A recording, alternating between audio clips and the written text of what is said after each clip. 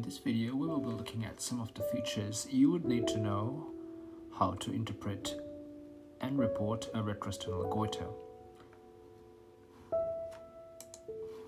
This is the thyroid gland and this is where the normal thyroid gland resides. In certain individuals, the thyroid gland has hypertrophy of one or two of its lobes and in some instances the hypertrophic lobe extends inferiorly below the level of the thoracic inlet. When it extends beneath the thoracic inlet, it is called a retrosternal or substernal extension. You need to understand several of the surrounding structures and also important anatomical landmarks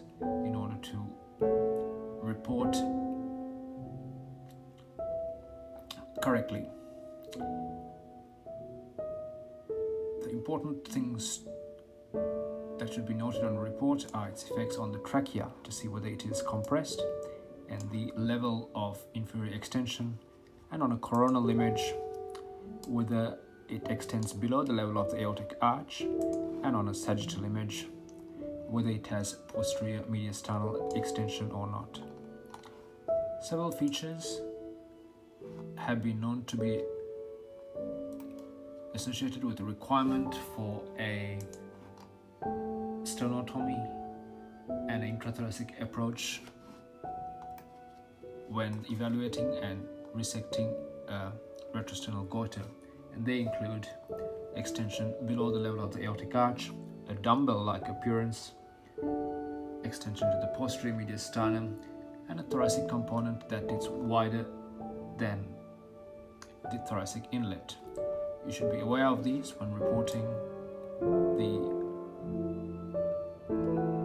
extent of the retrosternal goiter.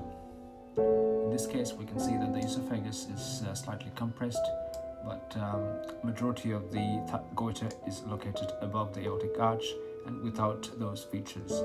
References containing important links are attached below.